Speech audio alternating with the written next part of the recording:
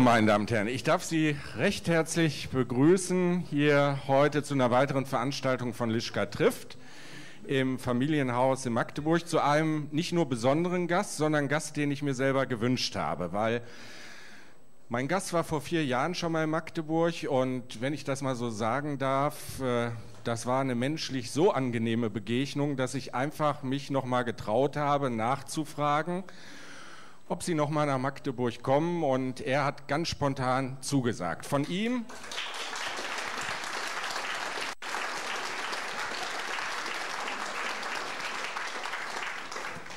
Von ihm stammt der Satz, man muss schon ein wenig die Welt retten.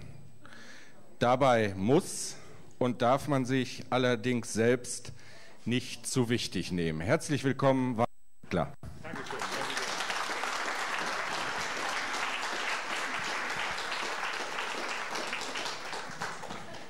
Herr Sittler, man sieht es Ihnen kaum an, aber Sie werden in diesem Jahr 65 Jahre jung oder alt, je nachdem, wie Sie sich so gerade fühlen. Auf jeden Fall ist das so ein Alter, da gehen andere in Rente. Denken Sie auch schon mal an den Ruhestand?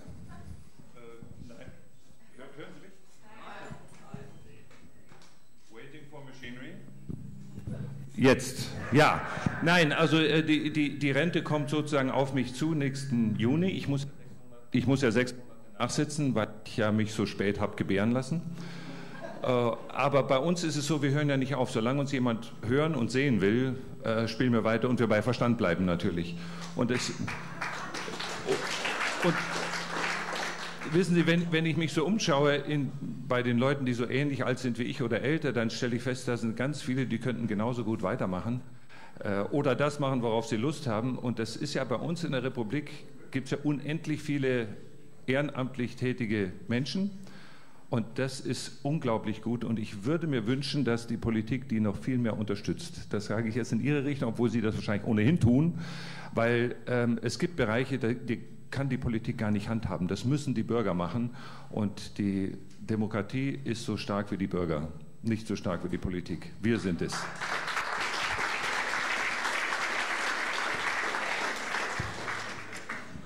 Herr Sittler, gleichwohl, mit 65, glaube ich, kann man so ein paar kleine Zwischenbilanzen ziehen. Ja. Ich fange mal ganz einfach an. Welche Rolle haben Sie am liebsten gespielt als Schauspieler? Ja, das ist, das ist schwierig. Dann fragen Sie mich, ob ich lieber Äpfel- oder Birnenesser. Also es kommt darauf an, welche gut ist. Ich habe welche, die ich besonders mag, im Nachhinein immer noch. Das ist einmal äh, Dr. Schmidt, muss ich sagen. Das ist. Das, äh, das war eine von den Rollen, da weiß man als Schauspieler, wie es geht. Ohne viel zu überlegen.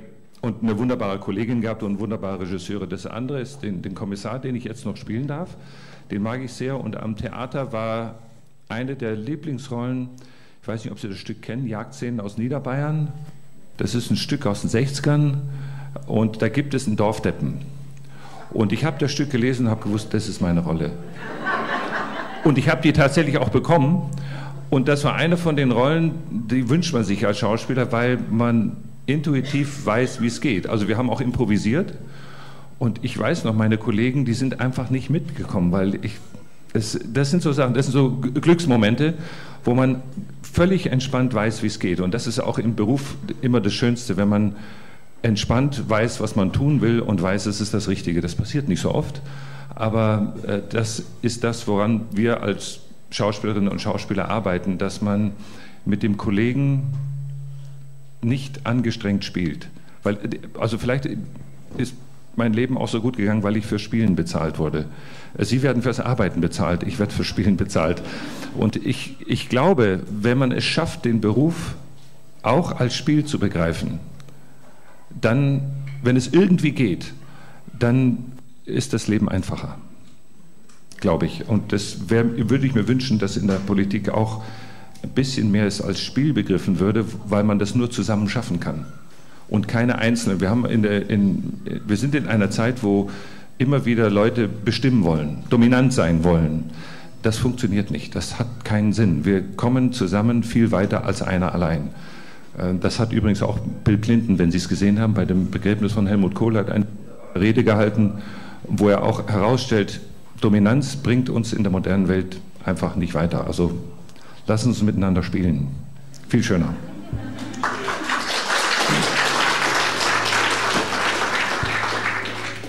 So, jetzt haben wir schon mal erfahren, bei welcher Rolle Sie gesagt haben, ja, das meine.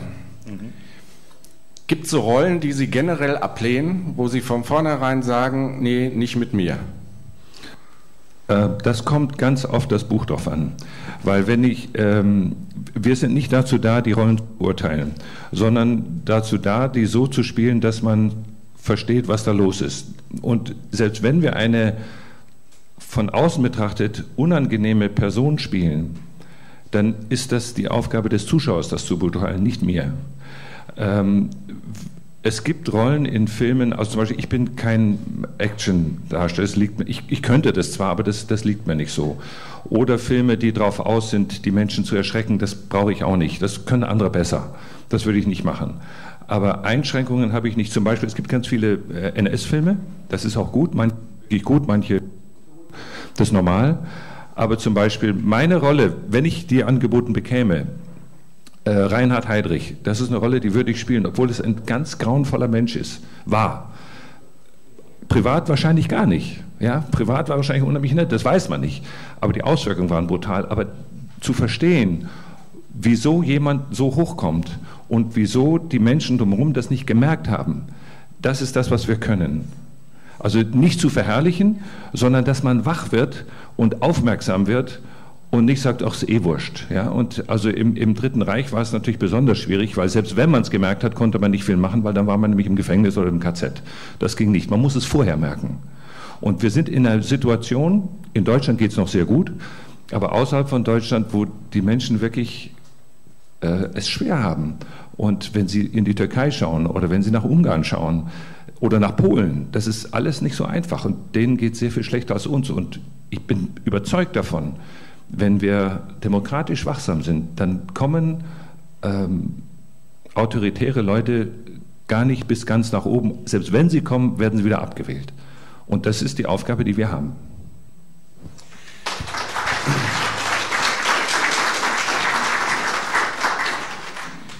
Gibt es noch ein Herzensprojekt, was Sie verwirklichen möchten? Weil mit 65 ist ja schon, man schaut auf den Zeitraum, der noch vor einem liegt. Und man merkt wahrscheinlich auch, der ist irgendwann begrenzt. Gibt es da noch etwas irgendwo im beruflichen, im privaten Bereich, wo Sie sagen, das will ich auf jeden Fall nochmal machen?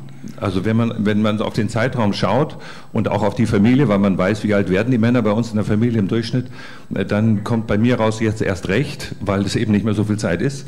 Aber wir haben ja, also meine Frau und ich und unser Mitproduzent aus Köln, wir haben dieses Projekt, wo wir die Kinder auf der Welt porträtieren und sie reden lassen über die Welt, über die Zukunft, über ihre Ängste auch. 199, 199 kleine Helden. Helden. Wir haben jetzt in 26 Ländern schon gedreht, 28 Filme. Es gibt den Kinofilm, der ist in Magde, Ma, Magdeburg, soll ich sagen. Das Magdeburg. Magdeburg. Habe ich heute gelernt, Magdeburg. Ja, der ist ja auch gelaufen. Äh, und wir wollen möglichst ein Kind aus jedem Land haben. Uns fehlen noch Finanzen dazu. Wir sind bei der Finanzierung wieder. Das ist jedes Jahr schwierig. Aber das ist ein Projekt, wo man merkt, das macht Sinn. Also es gibt jetzt ein, ein großes Projekt in Baden-Württemberg an den Schulen für den Unterricht, weil es darum geht, dass man die Welt kennenlernt. Und zwar auch Menschen aus der Welt kennenlernt. Natürlich kennt man den nicht, wenn man die im Kino sieht, aber wenn Sie die Kinder sehen, wie die reden, das sind alle, die sind alle zwischen 10 und 12, also vor der Pubertät, weil in der Pubertät, Sie wissen, das ist irgendwie schwierig. Äh, und ich glaube, wenn, wenn man den, äh, in den Schulen den Kindern von Anfang an diese Idee der einen Welt mitgibt und ihnen die Chance gibt, das kennenzulernen, auch Leute aus Nepal, aus Indien, aus Irak, überall, äh, dann haben die einen anderen Blick und dass sie auch wissen, wo die Länder sind. Dann kann ihnen keiner mehr erzählen, wie das in Amerika der Fall war, als sie sagten, ja, der Assad, der kann ja in, in oder Saddam Hussein, der kann innerhalb von 40 Minuten Amerika zerstören. Dann würde es jedes Kind sagen, das kann nun nicht sein. Das geht nicht. Und ich finde diese, äh, dass man das Fremde kennenlernt, das scheinbar Fremde, und dann feststellt, die wollen alle dasselbe. Das hat mich auch überrascht, dass die Kinder, wenn man über die Zukunft redet oder über das, wovor sie Manschetten haben, weil die Zukunft nicht so gut ausschaut, dann ist es überall gleich. Und äh, zum Beispiel, wenn wir sie fragen, was würdet ihr ändern, wenn ihr könntet?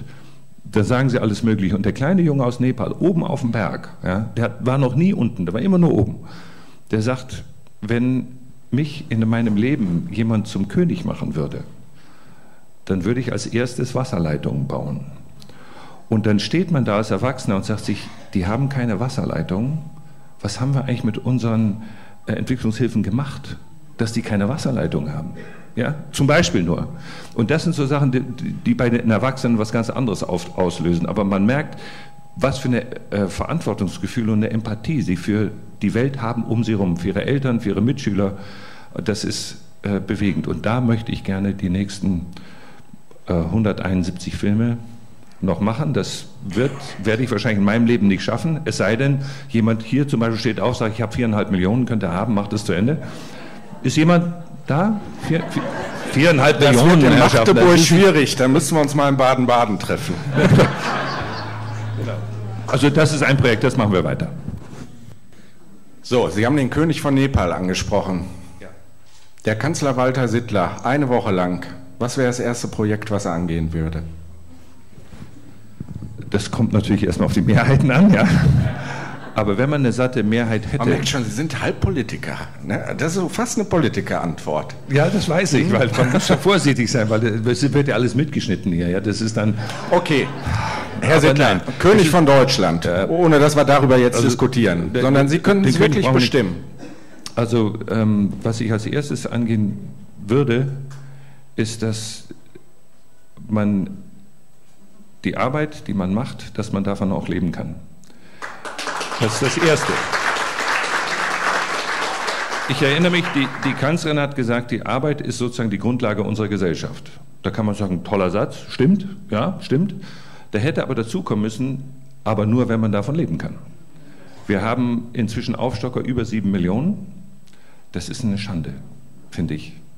Und äh, wir haben einen Reichtum, der so ungleich verteilt ist, dass es auch eine Schande ist. Das ist das Erste, was ich angehen würde und woran man in einer Woche hundertprozentig scheitert. Leider. Das Zweite wäre. Was macht Sie da so sicher? Weil wir sind in einer Situation, wo es um Erhalt dessen geht, was man hat. Also die, diejenigen, die viel Geld haben, also auch große Konzerne, die wirklich viel Geld haben, wenn man denen sagt, zahlt eure Leute anständig, dann kommt automatisch, dann verlagern wir die Produktion. Nicht, dass sie es tun, aber die drohen es an und schon bleibt der Lohn niedrig. Wir haben, wenn Sie die Konzerne anschauen, auch Daimler, Porsche, sind alle dieselben. Die haben eine Lohngruppierung, wo sie den Mindestlohn unterwandern, ständig, gesetzlich abgesichert, es geht alles, äh, sodass was Familienunternehmen nicht machen, das machen die, die Konzerne machen das und produzieren dadurch Leute, Zeitarbeitsleute, unterbezahlte Leute, die aufstocken müssen. Familienunternehmen, die wissen, ihre Mitarbeiter sind das Kapital der Gesellschaft. Und die Menschen das Kapital unserer Gesellschaft. Und die Menschen müssen wieder ins Zentrum kommen. Und wir müssen nicht die Demokratie wirtschaftskonform machen, sondern umgekehrt. Da bin ich ganz gegen Angela Merkel. Die hat nämlich gesagt, wir müssen die Demokratie wirtschaftskonform machen. Wenn wir das machen, dann haben wir verloren. Weil Frank Schirmacher, der Herausgeber der FAZ, wirklich ein konservativer Mensch bis ins Mark, der hat in den letzten zwei Jahren, bevor er gestorben ist, gesagt, er hat äh, das Gefühl, dass er den falschen Feind bekämpft hat. Und er sagte dann, der Feind der Menschheit ist der moderne Finanzkapitalismus. Und ich fürchte, er hat recht. Und wenn Sie, ich, ich, ich, weiß nicht, ich weiß nicht, wer von Ihnen äh, Georg Schramm verfolgt hat in seinem Programm. Dieser, dieser wirklich analytisch einer der besten Kabarettisten, die wir haben, der tritt leider nicht mehr auf. Der seit 2008 zitiert der Warren Buffett. Ja, das ist einer der reichsten Männer der Welt. Der wurde gefragt in einem Interview, wurde gefragt, was? Also es ging um Krieg, ja, um Kriege, weil es gibt dauernd Kriege überall, die hören auch nicht auf. Und dann hat, wurde, was ist das zentrale Problem unserer Zeit? Und dann hat er die Interviewer von der New York Times angeschaut und hat gesagt, das, das fragen Sie noch? Das ist der Krieg reich gegen arm. Und wir, meine Klasse, wir haben diesen Krieg begonnen und wir werden ihn auch gewinnen. Und alle Zahlen, wo immer Sie lesen, aus welchem, aus äh, welchem Institut auch immer, sprechen dafür, dass er recht hat. Und äh, man ist so hilflos als kleiner Bürger, die wir ja fast alle ja sind. Äh, aber ganz hilflos sind wir nicht, weil wir können wählen. Und ich würde mir wünschen, jetzt mache ich Wahlkampf, sage ich gleich. Ich würde mir ein, wünschen, dass der Mut zur Veränderung in Deutschland größer wäre. Und und bei allem, bei, bei, bei allem ähm, was Angela Merkel gemacht hat, ich bin der Meinung, nach zwei Wahlperioden sollten die Wähler so klug sein, die Regierung zu tauschen. Wir haben das in Baden-Württemberg erlebt, 60 Jahre CSU, CDU. Wir sind gelandet bei einem Ministerpräsidenten, dessen Namen ich nicht in den Mund nehmen möchte. Und das können wir aber verhindern, dass sowas passiert. Und wir haben jetzt, Angela Merkel ist zwölf Jahre da, es gibt auch andere in der CDU. Die, die Partei kann ja dranbleiben, das will ich gar nicht sagen, aber einfach tauschen, damit der Wind da bleibt. Wir hatten 16 Jahre Helmut Kohl, das waren mindestens vier Jahre zu viel. Nicht, weil er nicht was Gutes gemacht hat. Er hat viele gute Sachen, er hat auch viele blöde Sachen gemacht, aber das passiert uns allen. Das kann man niemand anlasten. Aber es waren vier Jahre zu lang. Und dann wird es so bleiern. Und das ist nicht gut, finde ich.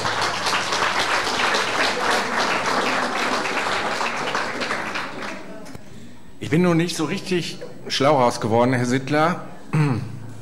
Sind Sie ein Skeptiker, was Veränderungen angeht, bei diesen ständigen Kämpfen? Oder sagen Sie, wenn ich mir Geschichte anschaue, es gibt immer wieder auch Zeitphasen, da haben sich Dinge verändert. Ich, ich frage auch mal bewusst als ich jetzt Sozialdemokrat, weil irgendwie die ganze SPD natürlich immer davon lebt, in kleinen Schritten zu versuchen, irgendwas zu verbessern, auch nicht fehlerfrei. Ich, ich bin, ich bin äh, kein Skeptiker in dem Sinne, dass es Veränderungen gibt, die aus der Bevölkerung auch kommen und auch aus der Politik kommen. Dass in, in der letzten Woche dieses Gesetz durch den Bundestag kam, war, weil es alles schon fertig war, seit Jahren. Es musste nur noch gezündet werden. Das war die schnellste Entscheidung, die wir erlebt haben in den letzten 20 Jahren. Äh, ich glaube, die wesentliche Veränderungen bauen sich auf. Dazu muss Druck aus der Bevölkerung kommen, dazu muss Druck aus politischen Gruppierungen kommen und irgendwann zündet es dann. Man muss halt den Mut haben, durchzuhalten. Das dauert. Und äh, in, in Deutschland, wir haben zum Beispiel, wenn man in England, ja, da hätte man nicht gedacht, dass die Wahl so ausgeht. Die haben, es ist nicht ganz so geworden, wie ich es mir gewünscht hätte, aber da ist es vorwärts gegangen. Und da ist jetzt auf diesen konservativen Parteien, die vieles falsch, mehr falsch als gut gemacht haben, da ist ein solcher Druck jetzt, dass kein Mensch weiß, was mit dem Brexit wird. Keine Sau weiß, was los ist. Ja? Und äh, in, in, Frankreich haben sie Marie Le Pen richtig eine reingegeben. Aber nur, weil sich Leute hingestellt haben und sich für eine Sache ausgesprochen haben, weil sie äh, Träume, Träume nicht unbedingt, aber, aber äh, erreichbare Ziele formuliert haben und auch hingegangen sind. Und das ist gut. Und das ist das zum Beispiel, was, was ich würde mir das wünschen, dass die SPD das noch viel mehr macht. Da kommen wir vielleicht und nicht pragmatisch hm. sagt, es geht aber nicht und das geht auch nicht. Jetzt haben Sie ganz viele Stichworte genannt. Ungarn, Polen, Trump, Brexit, Erdogan. Man könnte das ja jetzt hier wirklich so fortsetzen.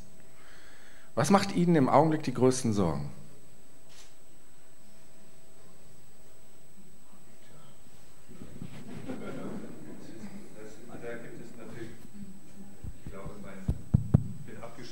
Die NSA war ich. Eigentlich geht es aus, wenn man nicht dauernd redet. Ja, das ist ein, ein Mikrofon für Vielredner. Ähm, die ersten haben auch schon den Saal verlassen, also vielleicht ein bisschen aufpassen. Also Sorgen macht mir, dass ähm, einmal, ähm, dass diejenigen, die den Schwachen in der Gesellschaft helfen, nehmen wir jetzt zu den Alten und zu den äh, Versehrten, die, die Flüchtlinge dazu, dass die nicht von der öffentlichen Seite die Unterstützung bekommen, die sie brauchen. Aus politischen Gründen auch, weil man nicht helfen soll oder will oder nur so ein bisschen, damit die eigene Klientel nicht denkt, die kriegen viel mehr als wir, was überhaupt nicht stimmt. Man braucht nur die Zahlen anschauen, dann weiß man das. Ähm, dass zum Beispiel auch mit der Partei, mit der ich nicht wahnsinnig viel anfangen kann, ähm, mit der AfD, dass da es keine gemeinsame Linie gibt. Dass manche versuchen sozusagen die AfD rechts zu überholen, weil man denkt, dann könnte man sie einkreisen. Das kann man nicht. Das geht nicht. Die reden nicht mit dir. Ja? Das funktioniert nicht. Man muss das anders machen. Man muss seine eigene, positiv die eigene Position formulieren und nicht sich annähern und sagen, wenn wir, wenn wir hier es ein bisschen schärfer machen im Innenministerium, dann würden einige von denen uns wählen. Das ist die falsche Politik. Das würde ich nicht machen selber stark vertreten, was man möchte. Eine starke Zivilgesellschaft, das ist die, das Beste, um eine friedliche Zukunft zu machen. Und da habe ich das Gefühl, dass es, da wird nicht genügend Vertrauen in die Menschen gesetzt. Und äh, die Politik, sage ich jetzt mal pauschal, ja, das ist für jeden Einzelnen anders, die wirbt immer für Vertrauen. Wo ist das Vertrauen in uns? Wo ist es denn? Ich habe das in Stuttgart erlebt.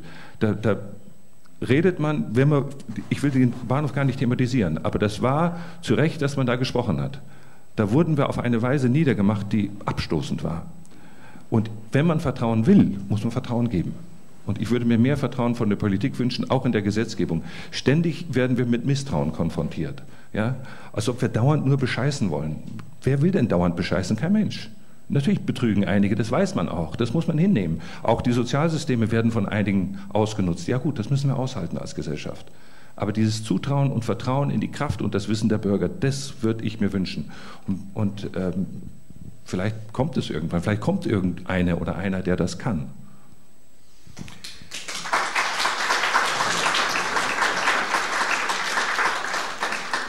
Man merkt, Herr Sittler, Sie sind ein sehr politischer Mensch. Ja? Woher kommt das? Dieser Drang, sich einzumischen? Es ist, nicht, es ist nicht der Drang, sich einzumischen, sondern wenn Sachen kommen, die für mich falsch laufen, auch in der Bildung. Ich, hab, ich bin Vater von drei Kindern und man sieht, was passiert, man sieht auch, was für Initiativen es gibt, es anders zu machen. Und in meinem Beruf geht es darum, zu verstehen, warum Menschen so sind, wie sie sind. Und wenn man das versucht, ich, deswegen kann ich auch nicht in die Politik gehen, weil ich ständig versuchen würde zu verstehen, warum die Gegner so sind und dann wird man untergebuttert. Ja? Äh, das funktioniert nicht, aber man kann reden. Äh, weil ich denke, wenn man so viel Glück gehabt hat wie ich, ein ganzes Leben, ich habe immer Arbeit gehabt, mir geht es gut, ähm, dann hat man eigentlich, für, für, für mich gilt das zumindest, fühle ich die Verpflichtung, auch was wiederzugeben und zu schauen, dass wir etwas den, den Kindern hinterlassen, was wertig ist, was gut ist, so gut wie möglich. Und ähm, das finde ich für alle, die privilegiert sind, ist es wichtig zu wissen, die Gesellschaft ist nur so viel wert, wie es den Schlechtesten geht. Das ist das Wichtigste überhaupt.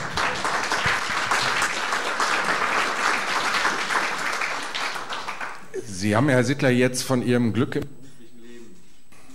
gesprochen.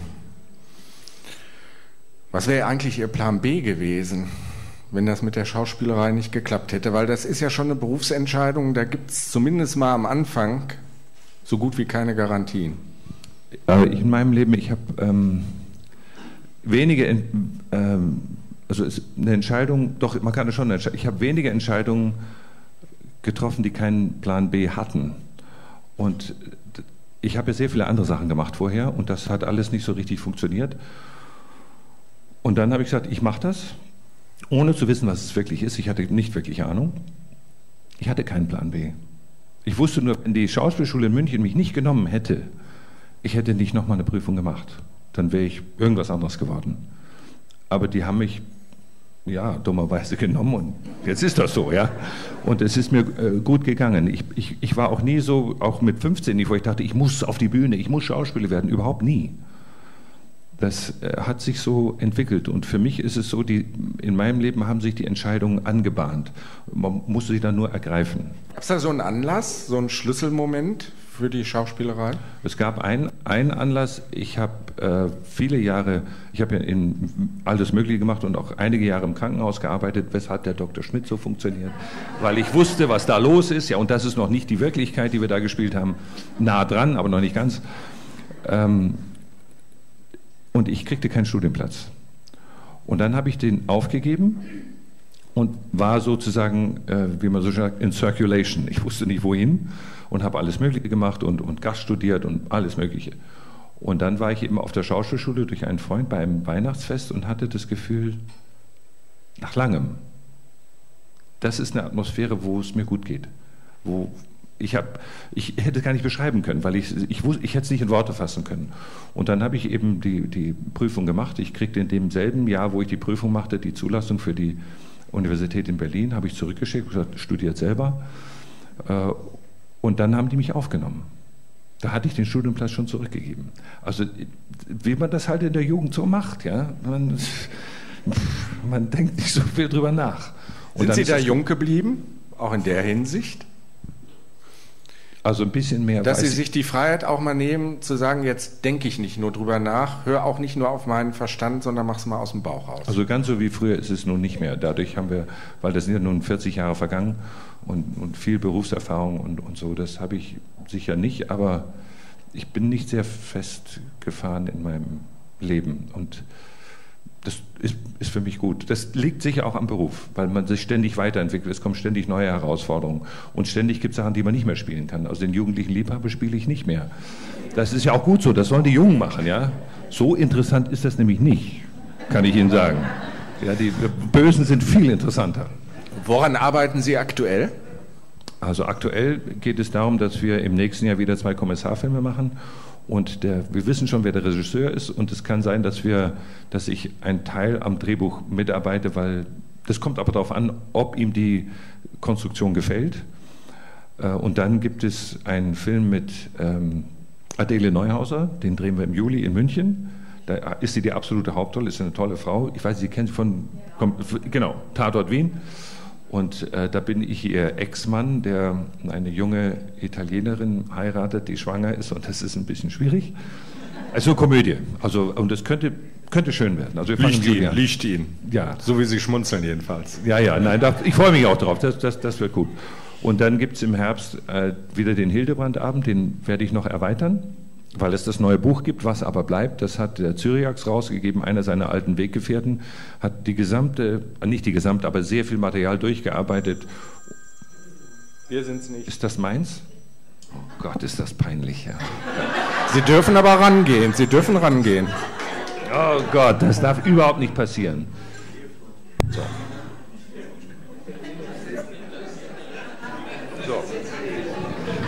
Also im Theater, im Theater muss man dann der, der ganzen Belegschaft äh, Champagner bezahlen. Also, aber wir sind nicht im Theater. obwohl, obwohl, Wir sind im Familienhaus. Alles okay, jetzt versuchen Theater, Sie die Kurve ja. zu kriegen. Genau. Das kommt und dann gibt es die beiden Kästnerabende wieder, die nehmen wir wieder auf. Ich weiß nicht, ob jemand von Ihnen die zufällig. Wir waren noch nicht in Magdeburg da mit. Magdeburg. Magdeburg, ja. Magdeburg. Sie haben, genau, das G auch. Das haben wir vor vier Jahren schon mal gelernt. Ja, ja, und ich habe es wieder vergessen. Oh Gott.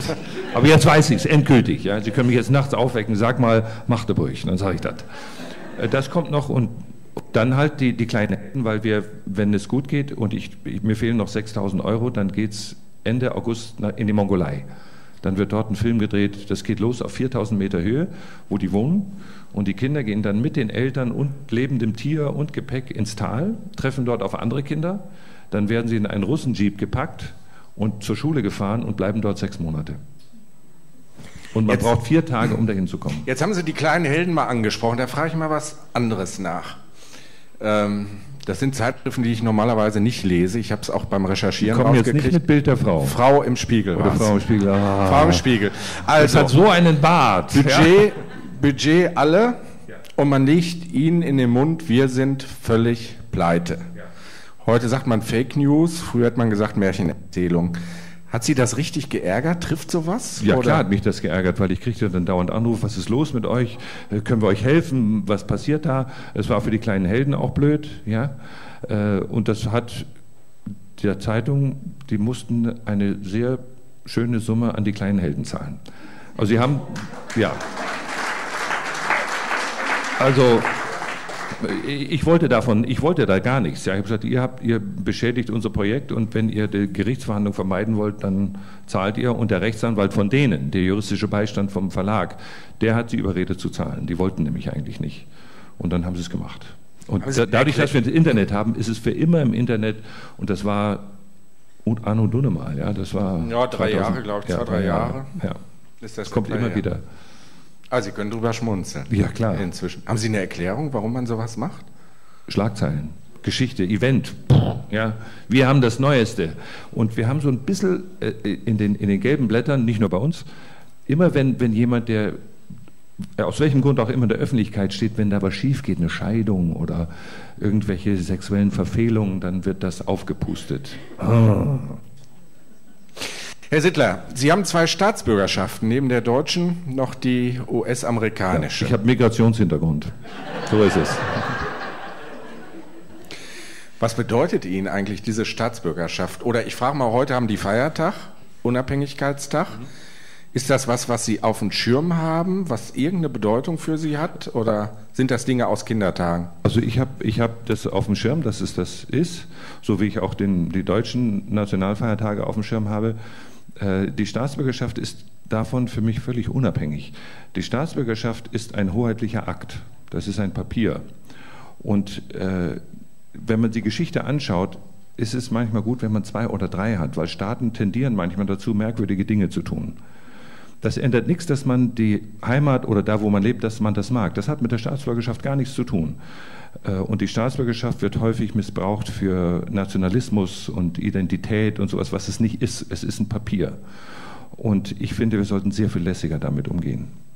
Und ich bin sehr dafür, dass wenn einer zwei Staatsbürgerschaften hat, dass er die auch behalten kann. Und zwar ganz egal, welche das sind.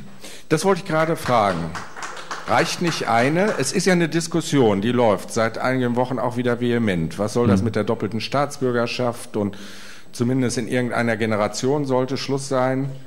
Wir leben in einer, in einer globalen Welt inzwischen. Die jungen Leute fahren in der Gegend rum wie wahnsinnig. Es gibt, also in meiner Familie allein, also der Familie meiner Frau, die leben im Schwarzwald, richtige Schwarzwälder Familie. Bei der Hochzeit ihres Neffen waren 14 Nationen. Die, ihre Patentochter hat einen Amerikaner geheiratet, vietnamesische Abstammung.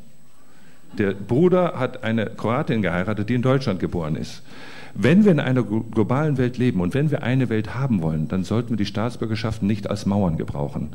Wie gesagt, das sind Papiere. Man kann dann sagen, wenn du in Deutschland lebst, aber Amerikaner bist, dann darfst du trotzdem nur in Deutschland wählen. Sowas könnte ich mir vorstellen. Haben Sie bei der US-Präsidentenwahl eigentlich? Natürlich habe ich gewählt, habe verloren, verdammte Scheiße.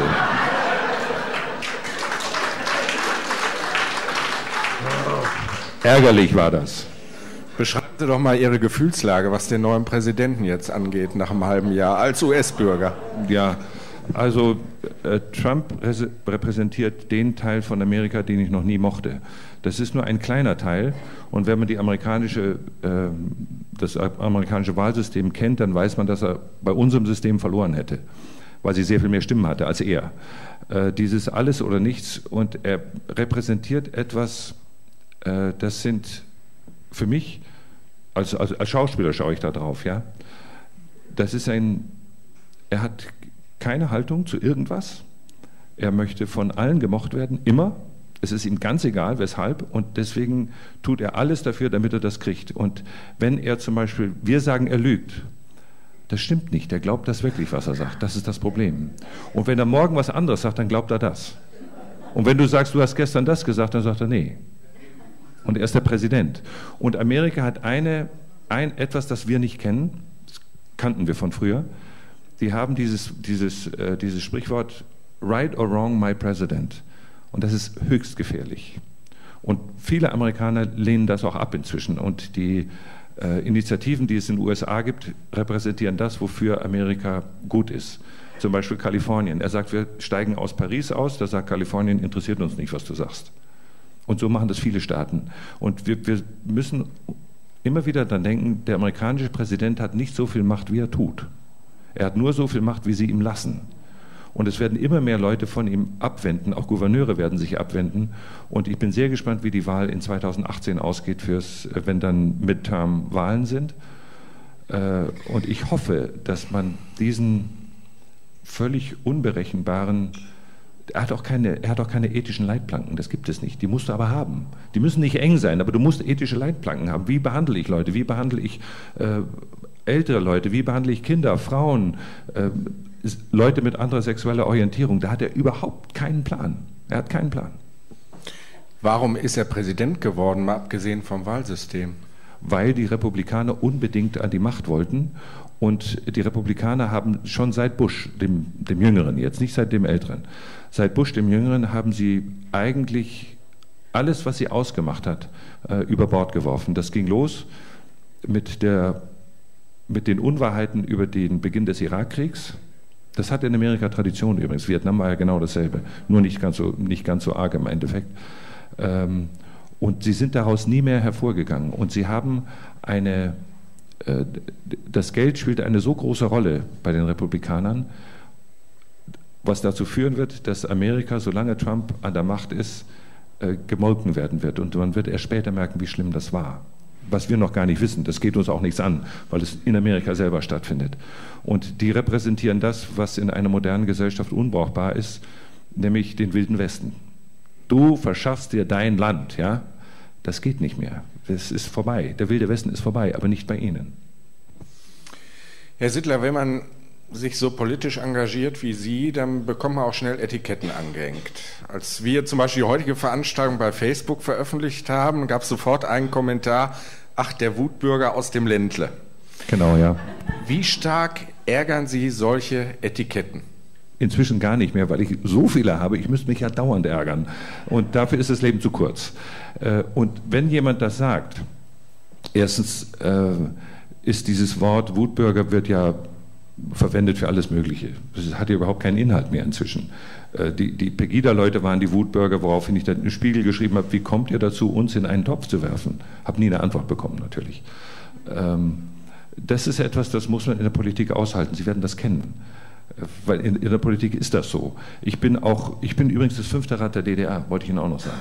Ja, ich bin ein Altstalinist, ich bin ein Altnazi. In welchem Zusammenhang kam das? Stuttgart 21. Hm. Ich bin ein arbeitsloser Berufsdemonstrant, ja, der eigentlich in die Gosse gehört. Ich bin derjenige, der mit den anderen aus Stuttgart hinausgetrieben werden müsste, Aussage eines evangelischen Pfarrers. Das sind so Sachen, das darf man nicht so ernst nehmen, weil das sagt mehr über die aus, die sagen, als über mich, weil die kennen mich ja gar nicht. Aber die wissen ja gar nicht, was ich will. Erschrickt Sie das nicht manchmal, wenn Sie solche Zuschriften bekommen und inzwischen ja sogar ganz überwiegend mit vollem Namen, Adresse, Telefonnummer. Und jemand, wenn ich jetzt mal aus meinem Leben hier berichte, jemand schreibt rein, für dich werden die Konzentrationslager wieder erbaut und du gehst mit den Kanaken als erster rein. Ne? Und schildert auch noch, er wäre Lehrer oder der nächste Professor, genau mit solchen Sätzen. Also ich bin der Meinung, die meisten, die das in Facebook veröffentlichen, die tun das von zu Hause aus und haben einen Wall an Ärger, Frustration und sind, wenn es darauf ankommt, aktiv zu werden, handlungsunfähig. Woher kommt die Frustration? wahrscheinlich vielleicht einen schlechten Job, schlecht bezahlt, äh, kein Zutrauen im Leben bekommen, entlassen worden. Es gibt ja viele, es gibt unendlich viele Gründe. Äh, und wir leben in einer Zeit, wo viele, auch von den Jugendlichen, man muss sich immer darstellen, ja, wie toll man ist. Und dann, man ist aber nicht dauernd toll, man ist manchmal auch saublöd und unglücklich. Und äh, wenn man das aber nicht anerkennen will und äh, man kriegt nicht die, die, sagen wir mal, die Zuneigung, derer man bedarf, dann kann das schiefgehen und dann ist man allein, vielleicht mit falschen Kreisen, weiß der Himmel. Es gibt viele Gründe dafür. Und mich erschreckt es insofern äh, nicht mehr, weil morgen wird ein anderes Schwein durchs Dorf getrieben. Es ist dennoch, am Anfang war das sehr unangenehm. Unangenehm, das Unangenehmste war, das muss ich schon sagen, als äh, damals, das ist auch inzwischen vergessen mit Herrn Strobel, als er mich in die, äh, sagte, da mein Vater in der Partei war, äh, wüsste man ja, wo ich sei. Der jetzige ja, Innenminister, müssen wir dazu wir sagen. Sind, wir, sind, oh, wir sind wieder okay. Aber das damals, auch im Bundestag, was damals über mich im Bundestag gesagt wurde, da hätte ich mir gewünscht, dass der Lammert aufsteht und sagt, Leute, jetzt reicht's. Das hat keiner gemacht. Das ärgert mich. Weil wir sind, wir sollen euch wählen. Wir sind der Souverän. Ich habe nichts weiter gemacht, als gegen ein Projekt etwas zu sagen, von dem alle Welt weiß, dass es scheiße ist inzwischen. Wir wissen es. Viel zu teuer. Alles. Keiner ist aufgestanden. Und der Lammert ist nicht auf den Mund gefallen. Und ich finde, wir müssen auch geschützt werden dann vor Leuten, wenn die aus welchen Gründen auch immer, aus politischen Gründen, es ist mir egal, welche Gründe sie anführen. Es geht nicht, dass man die, die Wähler in dieser Weise beschimpft von den gewählten Vertretern. Das hat mich geärgert. Die, diejenigen, die auf Facebook wettern, ja gut, das ist halt so.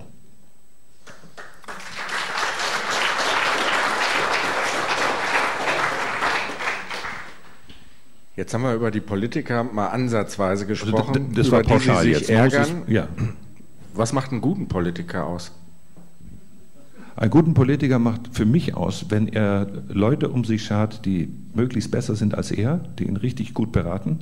Frau Schwesig ist so eine, ja, die ist gut, aber er hat ganz tolle Leute um sich herum, ähm, die, die zuhören können, die, die, die äh, sozusagen ein Ohr an den Menschen haben, die sie vertreten. Sie müssen nicht allen alles recht machen, das geht sowieso nicht. Aber die nicht autoritäres Verhalten an den Tag legen, die nicht sagen, es ist ja nicht so, bloß weil man Minister wird, ist man plötzlich schlau. Das ist ja nicht so. Ja, man ist der normale Mensch wie vorher auch. Äh, und der versucht, einen, innerhalb einer Demokratie, die wir ja sind, ein, äh, einen Konsens herzustellen. Und denjenigen, wir gehören allen Minderheiten an übrigens, jeder von uns ist eine Minderheit, auch weiß, dass, man die, dass die Teil des Ganzen sind. Und ein guter Politiker, zum Beispiel, der nach einer Wahl, die er gewonnen hat, nicht auftritt wie Graf Koks, sondern im Bewusstsein behält, ich muss auch die vertreten, die mich nicht gewählt haben. Und das ist das Schwierigste. Fällt Ihnen jemand ein? Steinmeier zum Beispiel. Steinmeier ist ein Politiker für mich, der, der, der schaut, was ist da wirklich vorhanden und was kann ich machen. Der war nicht immer so. Der hat früher auch äh, draufgehauen, ja. Aber ähm, Schumacher war so einer. Ähm, letztlich wahrscheinlich Ludwig Erhard, solange er nicht Kanzler war. Als Kanzler ist man einfach in einer Scheißposition, ja. Äh, das ist blöd. Es, es gibt immer wieder welche. Äh, Kretschmann ist so einer, deswegen mögen ihn die Leute auch, weil er kann mit den Schwarzen, er kann mit den Roten, er, also es ist schwierig, das schon. Aber er verliert nicht, äh, er, er erhebt die Stimme, wenn es um die AfD geht. Da, da kann er nicht mehr wirklich gut an sich halten. Er kann immer noch.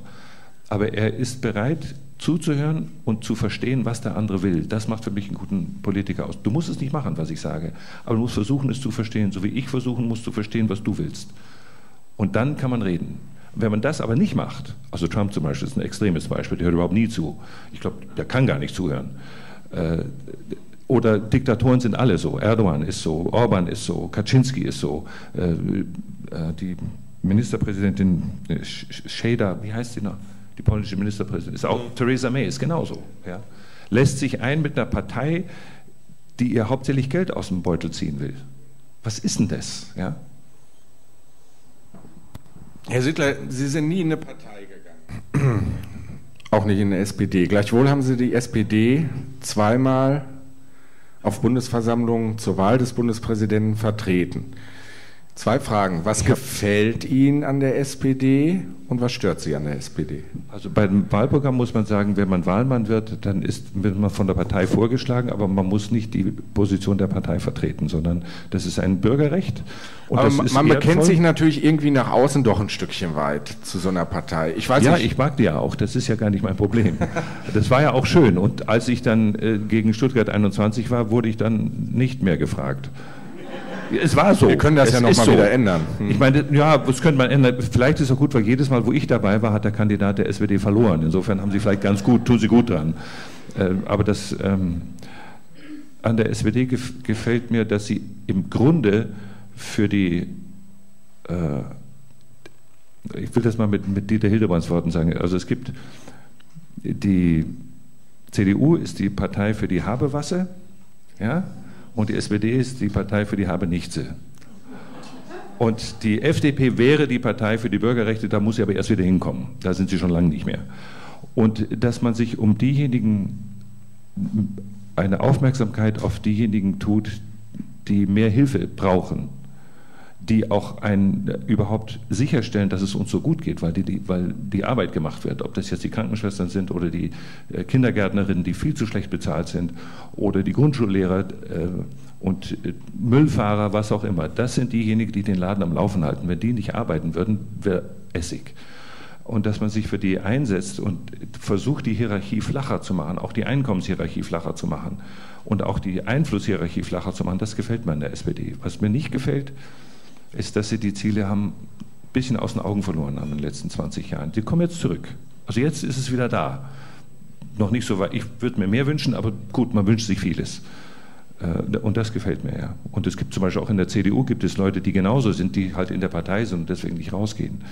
Und es gibt Leute in der CDU, zum Beispiel der Müller, der Entwicklungshilfeminister, Wirtschaft, wunderbarer, wunderbarer Typ selbstständig, hat eine Meinung, sagt, ich weiß, was ich tue und ich tue das auch. Ich bin nicht Dirk Niebel und werde auch nicht in die Nähe von dem kommen.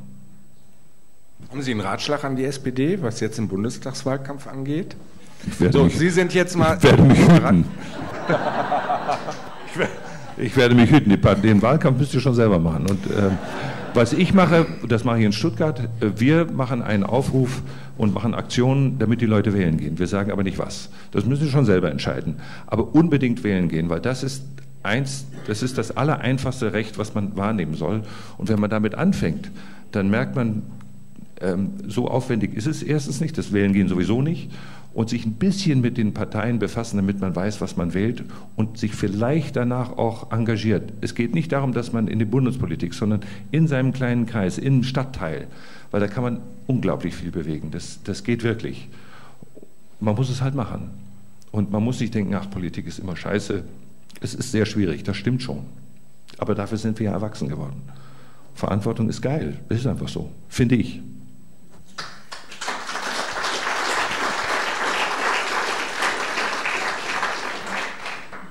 Herr Sittler, wir biegen jetzt, wir zwei hier vorne, wir haben jetzt eine Stunde rum, mal so langsam auf die Zielgerade ein, weil viele haben sich bestimmt Fragen. Also ich muss nicht gehen, ich habe Zeit. Er sagt das. Und trotzdem. Es ist ja als Theatermann, es ist lieber einen Freund verlieren als eine Pointe auslassen. Ist, also ich sage das mal so. Ich frage Sie auch noch nach der letzten Pointe. Worüber kann sich ein fast 65-jähriger Walter Sittler noch richtig aufregen? Also in der Arbeit, wenn jemand Zeit verschwendet und nicht vorbereitet ist. Das kann ich überhaupt nicht leiden. Weil wir haben eh schon so wenig Zeit, weil alles just in time sein muss.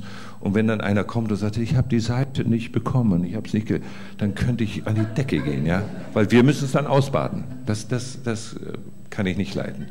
In der Politik gibt es nicht mehr so viel, weil das betrachte ich mit Interesse und versuche es einzuordnen, weil das Aufregen nützt nichts in der Politik. Äh, es, es, gibt Zeiten, da, da, ist es gut, wenn man sich positioniert und auch aufsteht. Das muss man auch, finde ich. Und ähm, Aufstehen für eine Sache ist gut, weil das Problem ist, wenn Sie aufstehen, kriegen Sie Haue. Von irgendeinem immer. Aber das muss man aushalten. Nicht so schlimm. Worüber kann sich Walter Sittler so richtig freuen? Über ein, über ein gutes Konzert, über ein schönen Film über die Ehe für alle, habe ich mich richtig gefreut. Nicht, weil ich das brauche, aber ich fand es toll. Äh, wahrscheinlich, weil im Theater wird, äh, ist es nicht so versteckt. Ja? Da weiß jeder über jeden.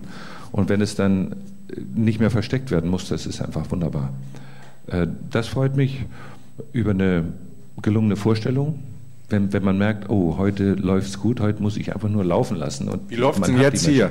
Gut, würde ich sagen. Wir hatten, sehr gut. Ja. Wenn ich das richtig mitbekommen habe, haben wir nur drei Zuschauer verloren. Also das ist schon mal gut. Weil ich bin auch, ich bin nicht einer, der, der sich freut, wenn Leute gehen, sondern ich möchte, dass die Leute bleiben dass man sich gegenseitig zuhört. Also im Moment müssen nur Sie zuhören, aber dass, dass, dass man zuhört und versucht zu verstehen. Das ist das, das ist das, was ich auch am Theater möchte. Selbst wenn man komplizierte Sachen macht, dass man, dass die, die Menschen, die dort sind, etwas mitnehmen, was auch immer es sei, und sich ähm, angeregt fühlen und verstanden fühlen und zu sich selber verführt werden. Das ist das, was Theater kann. Also Sie sind hier, also wir sind jetzt nicht im Theater, aber wenn Sie im Theater sind, sind Sie ganz allein, Sie allein gucken und können in Ruhe anschauen, was für ein Chaos Sie in sich haben oder auch nicht, je nachdem. Und das ist immer gut, finde ich. So, das Zuhören hat ein Ende. Jetzt können die ersten Fragen kommen. Ah, ah, ja, ja, ja, ja. Das machen wir jetzt, jetzt noch. Wer hat denn jetzt eine Frage, die er loswerden will? Wer sich als erster meldet, kriegt da hinten. Seloan, kannst du mal mit dem. Ganz hinten. Wann das Mikro kommt, dann versteht es auch jeder. Halt, halt, halt. Erstmal Mikro. Dankeschön. Ich habe Sie öfter aus der Barrikade gesehen in Stuttgart. Sie haben sich sehr für das Projekt dort engagiert. Äh, was hätten Sie denn anders gemacht? Also ich kenne Stuttgart ein bisschen wenn man mit dem Auto da durchfährt oder wie auch immer, das ist ein Graus, weil die Lage ist so. Wie hätten Sie, welches Konzept hätten Sie denn dort verwirklicht? Was, äh, also ich habe mich nicht für das Projekt, sondern gegen Stuttgart 21 eingesetzt. Ähm, ich hätte das gemacht, was die Architekten vorgeschlagen haben, dass man äh, den Bahnhof so weit ertüchtigt, dass er noch besser, es war einer der besten Bahnhöfe Europas übrigens, möchte ich nur mal sagen, ja, neben Zürich und, und äh, London den Bahnhof so weit ertüchtigen, dass er noch viel mehr leisten kann, als der neue jemals können wird. Äh, eine verkehrsberuhigte Zone vor dem Bahnhof und dass man die, Autos kann man nur wegkriegen, wenn man den öffentlichen Personennahverkehr besser organisiert. Der ist, nicht, der ist schon okay in Stuttgart, aber der könnte noch sehr viel besser werden. Und äh, wir werden in Stuttgart die Situation jetzt mit dem neuen Bahnhof sich nicht ändern. Es ist sogar noch schlimmer als vorher. Aber man muss warten, bis die Baustelle mal weg ist, dann wird man sehen, was ist. Äh, und da war eben der Plan, dass man einen, äh, das, das Dach auf den Bahnhof tut, wie das geplant war ursprünglich. Das hat man damals aus Geldmangel nicht gemacht. Und man hätte den gesamten Bahnhof mit dem Dach, mit den Solarzellen, die man da hätte, hätte man den Bahnhof äh, betreiben können. Das hätte ich gemacht, einfach weil es besser geht. Und technisch ist es so, ich sage das jetzt ganz kurz, die Deutsche Bahn will überall Taktverkehr einführen. Das heißt, wenn Sie ankommen mit dem Schnellzug, ist der Nahverkehrszug da und Sie können weiterfahren. Weil die reine Höchstgeschwindigkeit ist nicht das Problem, sondern wie komme ich dahin, wo ich hin will. In Stuttgart mit dem neuen Bahnhof ist der Taktverkehr für immer nicht mehr möglich. Aus dem einfachen Grund, weil wir zu viele Richtungen bedienen müssen. Wir haben sieben Richtungen und für sieben Richtungen brauchst du mindestens zwölf Gleise, wenn du es gut machen willst. Wir haben aber nur noch acht. Außer du machst Doppelbelegung. Doppelbelegung scheut jeder Bahnvorsteher wie der Teufel das Weihwasser, weil sie dauernd im falschen Zug sitzen. Ich meine, Tübingen ist auch schön, wenn sie nach Schorndorf wollen. Ja? Aber ich hätte eben verkehrsberuhigte Zone und mehr Taxis, billiger und Straßenbahnen. Da gab es verschiedene Konzepte, das geht jetzt nicht mehr. Das ist jetzt vorbei, jetzt ist es halt so. Wer hat die nächste Frage? Hier. Ja, hier vorne. Ich habe eigentlich zwei Fragen. Und zwar, das ergibt sich die zweite aus der ersten. Sie haben ja zwei Staatsbürgerschaften, Amerikaner sind Sie und Deutscher.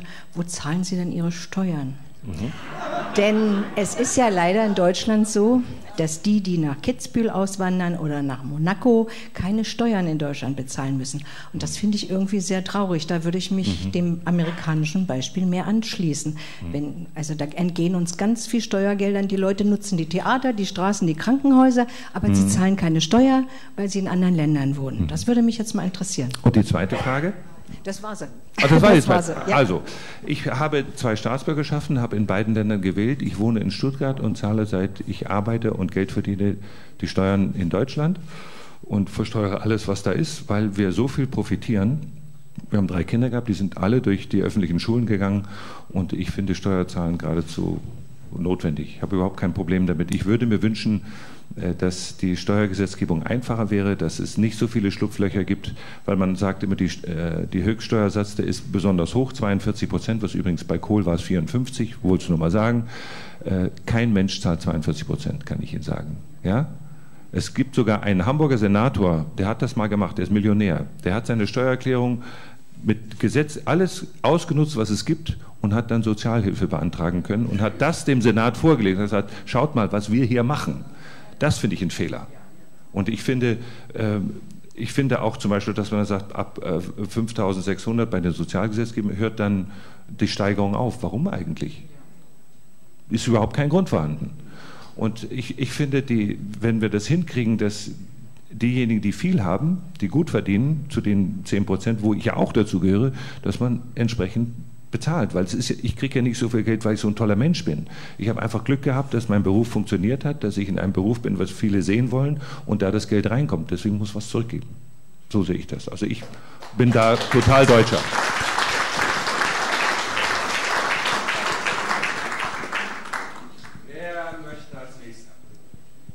Also hier gibt es keine Gage übrigens, hier komme ich für so, weil es schön ist.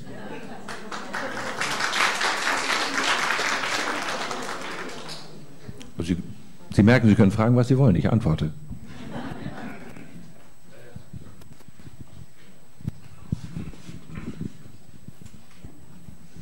Eine Frage nur rein zum schauspielerischen Leben. Und zwar, äh, Sie sind ja, Sie haben ja auch vorhin äh, gesagt, Öst, mit österreichischen Kollegen zusammen ja. ähm, zu arbeiten. Und mich wundert immer, dass man wirklich äh, als Schauspieler die Dialekte, äh, zu, zumindest kommt es so rüber, äh, unwahrscheinlich sauber tatsächlich auch verkörpert fast. Mhm. So ist das schwer? Muss man immer nur einen Satz dann äh, ins Mikrofon sprechen, um den nächsten dann zu lernen? Oder ist das wirklich eine Übung und sagt, jetzt bin ich tatsächlich Salzburger, jetzt bin ich ja. Münchner? Äh, also ich, Wie kriegt man das hin? Ich selber habe noch äh, im Fernsehen noch keine Rolle gespielt mit einem Dialekt. Also die Österreicher können den Dialekt und meistens nimmt man Schauspieler, die es sowieso können. Also, oder Schwäbisch. Ja, da, Schwäbisch, sage ich Ihnen, das lernen Sie in diesem Leben nicht mehr. Ja, da, diese Mundstellung kriegen Sie einfach nicht hin. Ja. Aber jetzt als nächstes, ich war sehr lange in Bayern, in München, und ich bin also ohne den Seehofer würde ich sogar sagen, das wäre schön, wenn man Bayer wäre. Ähm, aber das kommt jetzt eine kleine Rolle auf Bayerisch. Sonst bin ich immer hm, so mittelhochdeutsch, so ein bisschen südlich angehaucht. Aber wenn jemand das lernen will, dann, dann lernen wir das, wenn es geht. Und dann verkörpert man das, weil man muss es ja nur einmal richtig machen. Die ganzen Fehlversuche sehen Sie ja nicht. Da würden Sie sich totlachen, ja? Das ist ein technisches Lernen halt. Man muss es halt dann machen. Aber ich musste das noch nicht. Schön, dass Sie hier sind. Ich hätte eine Frage. Welche Vorbilder haben Sie? Welche Schauspieler haben Sie beeindruckt oder welche beeindrucken Sie immer noch? Ja, also ich Lebende nehme ich da meistens nicht, weil vielleicht wollen die das nicht. Ähm, also von den zum Beispiel Marcello Mastroianni ist für mich ein, ein großes Vorbild weil er sowohl in Komödien als auch in Dramen einfach unglaublich gut ist und sich hergibt. Ja? Also er macht den Laden auf und er hat eine, auch als Mensch muss er das, ich habe ihn nie persönlich kennengelernt, eine Bescheidenheit, weil er weiß, bloß weil ich so viel Erfolg habe, bin ich nicht ein besserer Mensch, sondern ich bin nur ein besserer Mensch, wenn ich mich besser verhalte. Und äh, das gefällt mir, weil er ähm, so aufmerksam ist für jeden. Und ich weiß nicht, ob Sie Filme gesehen haben, da gibt es einen Film mit, ähm, mit Sophia Loren, wo er einen homosexuellen Schriftsteller spielt, die während einer Parade in Italien, wo alle zu Mussolini laufen, die einzigen im Haus sind. Und dann entspinnt sich so eine kleine Romanze zwischen den beiden, wobei er ja homosexuell ist. Und das ist eine so unglaublich schöne Geschichte. Und ähm, es ist eine von den vielen Sachen. Und äh, das ist zum Beispiel jemand, der mir wahnsinnig gut gefällt. Es gibt da noch mehr. In Deutschland? Äh, von, den, von den Verstorbenen. Äh, also zum Beispiel, er lebt noch. Äh, Mario Adolf ist als Schauspieler besonders gut. Also er ist ein unglaublicher, er ist jetzt ein älterer Herr, ja, aber das, das macht nichts. Der hat auch eine, eine Hingabe. Also es sind die Kollegen, die mit, mit Hingabe das machen und nicht machen und zu zeigen, schaut mal, wie toll ich bin. Das interessiert mich nie, sondern die, die Hingabe an das, was da ist, weil das, das, das Schauspiel ist mehr als ich, das ist hier irgendwo. Und dafür, dafür lebe ich. Das, und die Leute, die das können, ob Männer, das spielt keine Rolle, das, das mag ich. Gibt es jemanden, mit dem Sie gerne drehen würden, mit dem Sie noch nicht zusammen vor der Kamera gestanden haben? Ja, da gibt es natürlich eine ganze Masse. Wenn ich also in meine äh, Heimat, meine, also meine Geburtsheimat schaue, haufenweise. Ja, das sind natürlich ganz äh, tolle Leute dort. Ähm, zum Beispiel, der ist auch schon tot, kann ich ja ruhig sagen. Äh, Gary Cooper zum Beispiel ist einer von diesen Kollegen, der, äh, wenn Sie Wem die Stunde schlägt, gesehen haben, alter Film, Schwarz-Weiß-Film, da kamen sie, um mit ihm zu spielen und sie redeten so privat und dann ging es um das Spielen und dann hat er genauso weitergeredet. Und das hat sie völlig aus dem Konzept geworfen, weil sie dachte, der redet ja ganz normal. Ja? Und dann gab es eine Stelle, Bus Stop, weiß, den werden Sie nicht kennen, Bus Stop mit Marilyn Monroe. Und da war ein Filmstudent am Drehort und hat gesagt, darf ich zuschauen, darf ich zuschauen, eine wichtige Szene. Und äh, da redet er mit ihr und es ist wirklich eine sehr emotionale Szene. Und, der wollte, und dann es an und der Student sitzt da und machen wir ohne. Egal. Ähm, und dann wird gedreht und dann ist die Szene vorbei und dann ist der, ist der, dann ist der Student ganz enttäuscht, weil er sagt, aber ich habe doch gar nichts gesehen. Woraufhin äh, er sagt, Gary Cooper sagt, it's in the eyes. Und dann siehst du die Aufnahme und das ist es, ja. Und das ist natürlich toll, wenn jemand das kann und das so ist, so dass, weil die Augen sind ja das Wichtigste eigentlich. Grimassen sind auch wichtig manchmal, aber meistens ist es beim Film und Fernsehen ist es, ist es hier. Und das ist schön. Wie im Leben, genau. Man, man guckt jemand an und weiß, ups, ich glaube, meine Lichter gehen alle an, meine roten. Das gibt es einfach. Andersrum auch. Sie sehen jemand, sagen, oh boah, Wahnsinn, ja.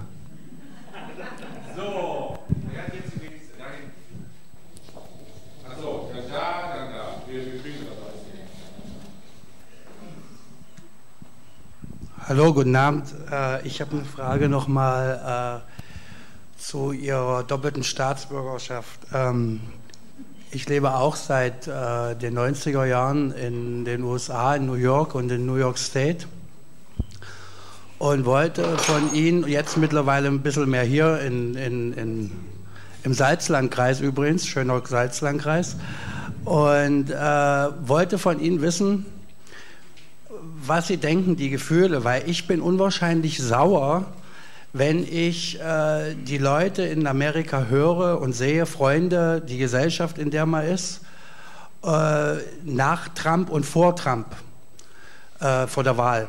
Und zwar, dass wirklich sich äh, so viele Leute dort geändert haben und ich verstehe die einfach nicht, wie, Entschuldigung auf Deutsch, aber wie bekloppt mhm. man einfach nur sein kann, als Volk so einen Typen zu wählen. Ich, ich begreife es einfach nicht und ich schäme mich eigentlich dort zu leben teilweise. Ich erwähne es gar nicht. Ja, ich wollte also, wissen, wie Sie da äh, Also ich, ich, sehe das so, äh, wenn man die, äh, die Wahl anschaut und die Wahlbeteiligung anschaut, dann weiß man, dass 19 äh, Prozent ihn gewählt haben. Da kann man nicht von Volk reden. Da kann man von einem nicht unerheblichen Teil reden, aber mehr nicht.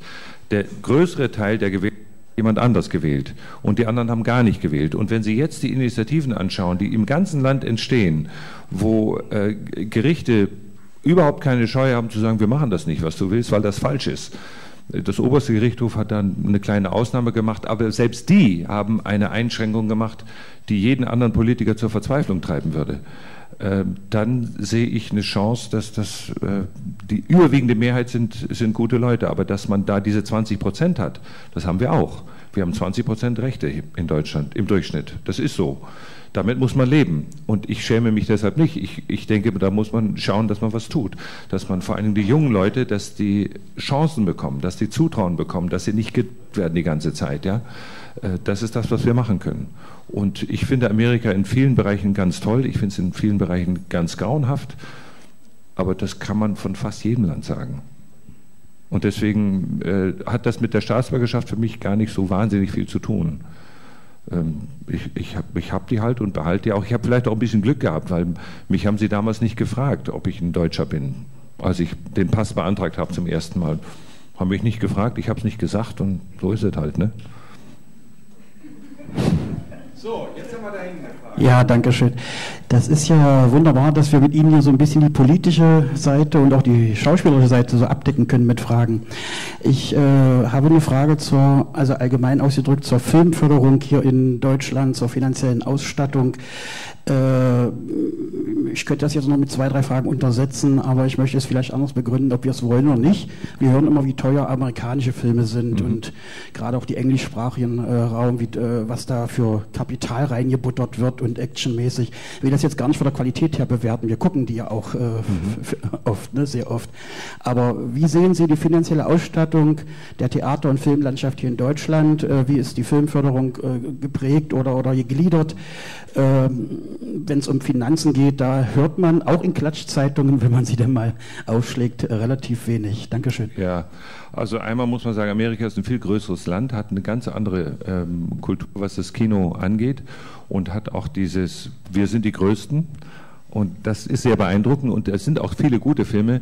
Äh, die vielen schlechten Filme sehen wir übrigens nicht, muss man dazu sagen. Die gibt es auch. Was die Förderung in Deutschland angeht, wir haben das föderale System, das ist ein bisschen kompliziert. Das heißt also, wenn Sie einen Kinofilm machen und fünf Förderungen haben, dann müssen Sie in fünf Bundesländern drehen. Das passt nicht immer ins Drehbuch, da müssen Sie es passend machen. Die Ausstattung an finanziellen Mitteln ist mittelmäßig, das stimmt schon, aber es werden etwa 100 Filme im Jahr gedreht. Was uns fehlt, das ist der dass die Filme auch in den Kinos gezeigt werden. Gehen Sie nach Frankreich. Sie haben immer französische Filme in jedem Theater. Das ist politisch gewollt und da gibt es Geld für. Bei uns, ich war in Erfurt, wir haben letztes Jahr einen Preis bekommen für unseren Dokumentarfilm. Ich habe einfach mal das Programm des Cinemax angeschaut, nicht ein einziger deutscher Film. Und wir haben sehr gute deutsche Filme, wir haben einen ganz anderen Stil, das ist auch gut so. Und der europäische Film ist, ist gut. Er ist nicht so die, die Oberfläche ist nicht ganz so glänzend, dafür ist häufig der Inhalt recht gut, auch nicht immer, das kann man auch gar nicht verlangen. Aber die politische Ausrichtung, dass man sagt, wir wollen, dass, dass neben den internationalen Filmen auch ein Anteil deutscher Filme gezeigt wird, das müsste die Politik entscheiden, weil das können die Kinobetreiber nicht, weil sie ja leben müssen irgendwie. Und in Frankreich machen sie das, in Norwegen machen sie das, sie haben eine ganz andere Art der Filmförderung und es gibt unglaublich schöne norwegische Filme, weil sie wissen, wir werden auch gesehen und es ist nicht so, dass man sagt, wir zeigen halt den Zuschauern, was sie sehen wollen. Die wissen ja zum Teil gar nicht, was sie sehen wollen, sondern sie schauen, was da ist und dann und sie. Und man kann, äh, man kann die Menschen auch, wie in Frankreich auch, äh, dazu bringen, dass sie am französischen Film haben. Die haben eine ganz andere Geschichte als wir. Wir haben das Problem mit unserer Geschichte. Das stimmt auch. Ja, und das müssen wir auch überwinden. Wir sind auch auf einem guten Weg dazu. Die jungen Leute sind da schon wieder ganz anders. Und der Film wird es ohnehin schwer haben, weil durch die neuen Medien wird das alles noch ganz anders werden. Aber die Förderung könnte besser sein und nicht, dass man nicht gezwungen, wir zum Beispiel mit unseren kleinen Helden, wir haben Filmförderung und müssen Geld in Baden-Württemberg und Nordrhein-Westfalen ausgeben, obwohl wir nur, in nur im Ausland drehen. Machen Sie das mal. Ja? Es geht. Man, Post, man macht die Postproduktion. Also man schneidet, man macht die Musik, man nimmt einen Tonmann aus Baden-Württemberg oder aus Nordrhein-Westfalen und eben nicht aus Sachsen oder Sachsen-Anhalt, weil wir, die, wir müssen das. Ja? Aber da kann man mit umgehen, das geht schon. Aber die, die, die Förderung, die, ich habe das Gefühl, auch im Film ist es so, man will auf keinen Fall in den Geruch kommen, dass man die eigenen Sachen fördert. Und da frage ich mich, warum? Es geht nicht darum, andere auszuschließen, sondern die eigenen genauso weit zu bringen, wie die von außen sind. Das, darum geht es eigentlich, weil wir brauchen die Konkurrenz unbedingt. Ohne das geht es nicht. So, da vorne. Sie haben vorhin bei Ihrer Aufzählung von heutigen Despoten, Herrn Trump, Herrn Orban, die polnische Ministerpräsidentin und andere erwähnt. Sie haben da jemanden weggelassen, der heutzutage in einem Atemzug äh, in dieser Putin. Kategorie mit erwähnt wird. Putin? Äh, Herr Putin. Ja. Mich würde Ihr Standpunkt zu dem Thema mal interessieren. Ja, ich hätte ihn einfach mit erwähnen sollen. Okay. Ganz einfach. Okay. Ganz einfach.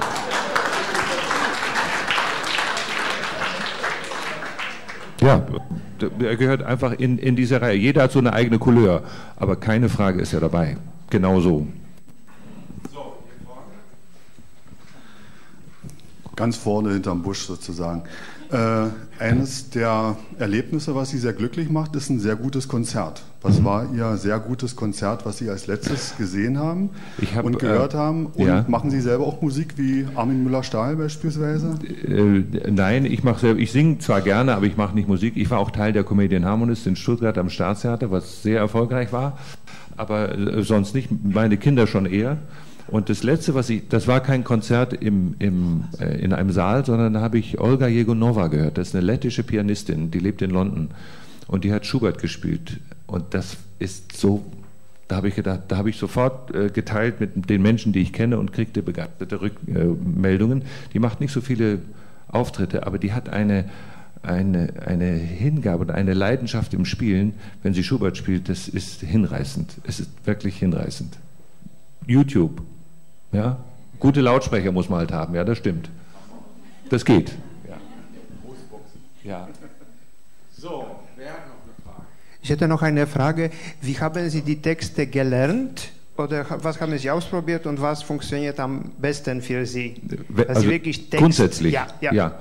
Also zum Beispiel bei den Kästnerabend, das sind, äh, das sind 45 Seiten, das sind ungefähr 10.000 Worte. Da lerne ich am Anfang zwei, drei Seiten, dann lerne ich am Ende zwei, drei Seiten. Dann lerne ich die nächsten zwei, drei Seiten vorne und dann die nächsten zwei, drei Seiten hinten. Dann mache ich alles nochmal, bis ich in der Mitte angekommen bin. Und dann kann ich schon alles. Ja, weil normalerweise, ja, ich mache das so. Ich mache das so. Ich kenne auch andere, die das machen. Ja, das hat den großen Vorteil, dass sie, weil, weil wenn sie von vorne nach hinten lernen, dann sind sie hinten nie so gut wie vorne. Weil sie, vorne haben sie es hundertmal gemacht, hinten nur zweimal. Und jedes Mal, wenn sie an die Mitte kommen, kommen sie in Stress, weil sie merken, scheiße, jetzt kommt die Stelle, die ich nicht kann. Ja? Äh, Mache ich das. Es funktioniert ganz wunderbar. Es geht so weit, dass, dass man dann, ich weiß noch, bei der ersten, vor der ersten Vorstellung vom Kästner, das war 2006, da konnte ich nicht schlafen. Ich weiß nicht warum. Ich musste aber. Und dann, ich, dann lag ich so im Dunkeln und dann bin ich den ganzen Text im Kopf durchgegangen. Das hat eine Stunde gedauert. Danach habe ich geschlafen wie ein Stein und dann war gut. Und dadurch, ähm, das prägt sich dann ein. Für mich ist das die Methode, die, die geht. Wenn ich für einen Film Texte lerne, dann kenne ich das Buch sehr gut und fange zwei Tage vorher an, so die Szenen, die dann dran sind, äh, sauber zu machen sozusagen. Aber wir drehen ja nicht, äh, wir drehen ungefähr fünf Schnittminuten am Tag. Also von dem ganzen Tag bleiben fünf Minuten über. So viel ist das nicht. Also, also das muss man können. Ja. Das geht leicht. Und das ist auch Übung natürlich. Und wenn Sie mich zum Beispiel, wenn, Sie, wenn wir in Schweden drehen und wir drehen am Montag eine Szene und Sie fragen mich am Mittwoch, was habt ihr am Montag gemacht? Dann denke ich, äh, Montag, ja, äh, da war ich der Kommissar und äh, ich weiß es nicht mehr. Ja, das ist dann weg. Also wenn man mir sagt, wenn, wenn ich dann weiß, welche Szene es ist, dann kann ich Ihnen sagen, was passiert ist, aber mehr auch nicht weil ich brauche es nicht mehr. Und dann wird das gelöscht, sozusagen. Aber zum Beispiel, die, die, wir haben den Kästner jetzt zwei Jahre nicht gespielt, der ist aber als, als Paket im Hinterkopf. Den muss ich jetzt aufschnüren, entstauben und dann ist er wieder da. Dann gehen Sie auf Tour? Auf Tour, ja, wir gehen im, im, Dezember. Im Dezember gibt es, glaube ich, zehn Vorstellungen, im Januar nochmal zwölf oder so, ungefähr, ich weiß nicht genau. Leider nicht in Magdeburg. Ja, wir wollen, aber wir müssen jetzt warten, bis er wiedergewählt ist. So, wer hat noch eine Frage? Ja. Man merkt, glaube ich, an Ihre Zufriedenheit mit sich, mit Ihrem Leben. Könnten Sie sich vorstellen, ähm, ich sag mal, einen Cut zu machen und in einem anderen Land zu leben, nochmal neu anzufangen, das auszuprobieren und welches Land wäre das? Das ist jetzt ein, ein Spiel, ja? Das ist ein Spiel, das ist gut. Ähm, Ich habe noch nie dran gedacht, aber wenn, wäre es vermutlich ein anderes europäisches Land, glaube ich. Schweden zum Beispiel, weil ich dort jetzt schon so oft war. Äh, es würde natürlich bedeuten, dass ich dort nicht arbeiten kann in der Landessprache, weil ich auf die Sprache angewiesen wäre. Äh, insofern habe Die kann man lernen. Oh ja, aber in Amerika sagt man immer, Old Dog don't learn new tricks. Ja? Also man kann es lernen, aber es wird, wird, wird schwierig. Ich würde zum Beispiel nicht in den USA mehr leben wollen, obwohl ich dort viele Verwandtschaft habe. Aber hingehen schon. Besuchen ja auf jeden Fall. Aber es gibt hier so viel zu tun und so viel zu entdecken in, in Deutschland. Ja, also ich habe vorhin, als, als er mich abgeholt, habe ich gesagt, diese, diese Namen, Magdeburg, ja, oder Dresden oder Schwerin, die haben immer noch so einen Geschmack von neu. Ja, weil bis 1990 war es halt DDR. Ja, da wusste man, es gibt das alles, aber da konnte man nicht hin. Und jetzt, wenn ich sage, ich fahre nach Wismar, dann ist das so, mm, das ist aber toll, ne? Da, Hannover kenne ich, ja, München auch. Da gleich die Frage noch zu, äh, waren Sie denn äh, außer jetzt zum Arbeiten in den neuen Bundesländern Sie haben es äh, aufgeführt, Dresden.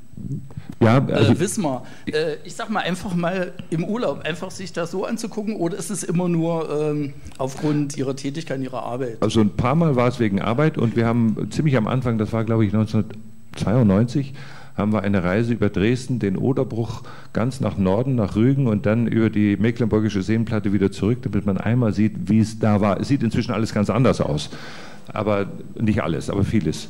Und das war, das war schon Wahnsinn. Und wir haben eine Landkarte gehabt, die, die gab es ja dann schon auch und auch mit den deutschen Bezeichnungen. Also die gelben Straßen waren einigermaßen gut, die roten Straßen, mm, und dann sind wir die roten gefahren.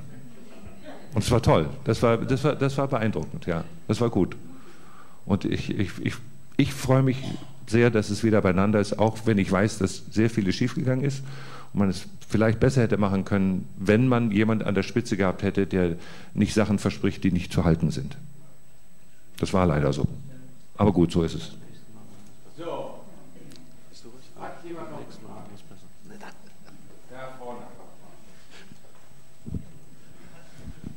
Ja, Sie haben vorhin gemeint, äh, dass äh, der Kampf zwischen Reich und Arm das ähm, dominierende Thema und Problem der Zeit ist. Ja. Ähm, wenn man sich die Europapolitik anguckt, hat man teilweise auch das Gefühl, auch da ist der Kampf zwischen den reichen und den armen Ländern das große Problem. Mhm. Sehen Sie da Chancen für die europäische Integration, auch dort dieses Problem zu überwinden? Ähm, ich glaube, die Chancen werden sich dann eröffnen, wenn, äh, wenn der Zusammenbruch tatsächlich droht. Weil dann wird man wissen, dass man eben Schulden erleichtern muss, dass man Schuldenerlass machen muss, damit es überhaupt funktioniert. Und äh, wir haben das, unser kapitalistisches System, was uns so viel gebracht hat, ja, also Reichtum und Luxus und was wir alles haben, ja, das hat den Nachteil, dass es auf Schulden gebaut ist. Und äh, Geld entsteht durch Zinsen. So ist das. Und wir haben jetzt, Deutschland ist verschuldet auf eine Weise, wenn man die Zahlen nennt, denkt man, oh Gott, das können wir nie zurückzahlen. Stimmt auch. Aber äh, ich glaube, wenn, wenn die, die wirtschaftliche Kraft bedroht ist, dann wird es etwas gemacht. Vorher kleine Schritte, vorher nicht. Das ist politisch immer so gewesen. Ich glaube nicht, dass sich da was ändert. Aber ich glaube, wenn es darauf ankommt, wenn Leute, äh, demokratische Leute noch an der Oberhand sind, also ich weiß nicht genau, was Macron machen wird, zumindest will er was machen, schauen wir mal. Und äh, ich glaube, Deutschland wird da eine wichtige Rolle spielen müssen und auch tun, glaube ich. Also ich, diejenigen, die dran sind, ob das jetzt von der CDU oder der SPD sind, die meisten wollen, dass Europa funktioniert. Fast alle, würde ich sagen. Was glauben Sie?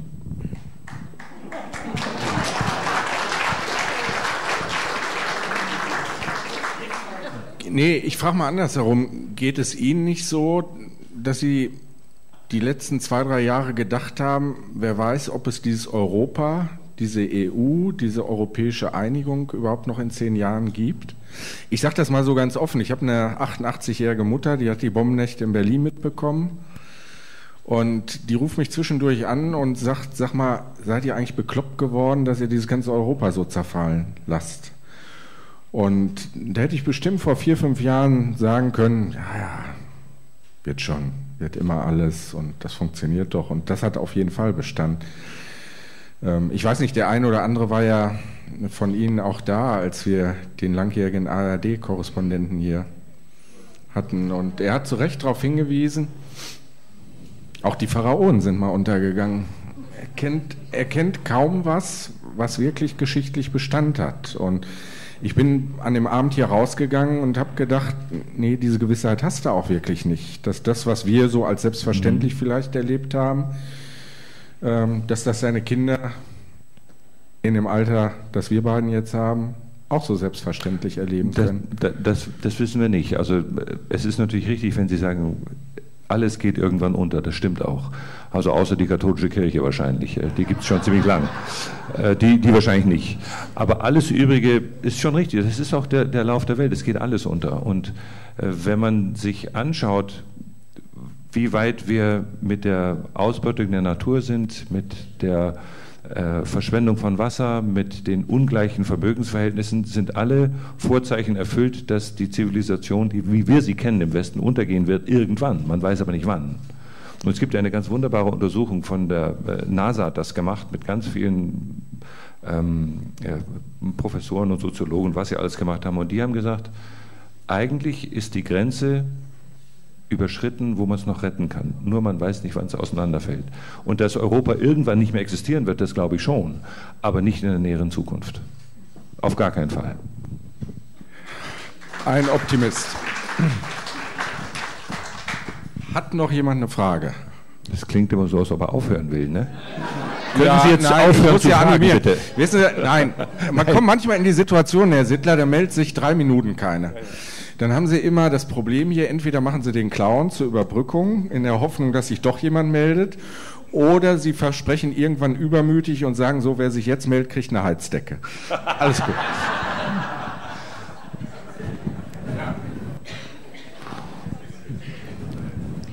Ich stelle jetzt die dritte Frage. Ich hätte noch viel mehr. Ich weiß gar nicht, wo ich anfangen soll. Ja.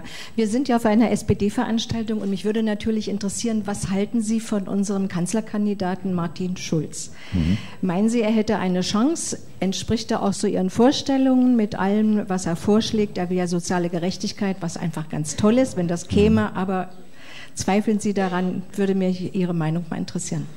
Also ob er eine Chance hat, hängt von den Wählern ab. Ähm, es hängt auch davon ab, wie die Medien sich benehmen, ob sie sich einigermaßen gut benehmen oder ob sie sich auf eine Seite schlagen. Was im Moment geht es eigentlich ganz gut, finde ich.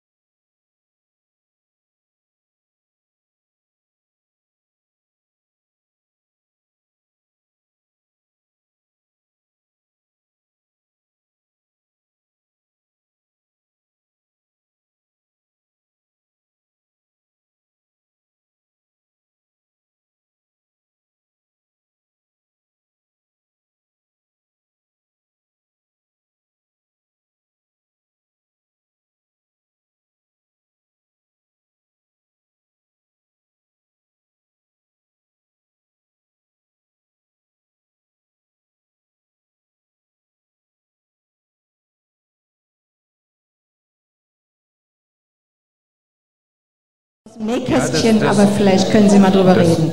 Das, ähm, also das könnte sein, aber dann haben, haben Sie es nicht gesagt. Weil Sie, da haben Sie nicht gesagt, was, also Zuschriften schon mal. Ja, äh, da, da, waren dann, da, da, sollte ich dann alle möglichen Sachen machen. Das mache ich dann. Ich schreibe dann zurück, sage, das ist jetzt irgendwie nicht das, was angesagt ist, aber vielen Dank, es ist schön, aber das ist nicht. Und die Kolleginnen, äh, zum Glück, die, es ist besser, wenn man befreundet ist beim Spielen.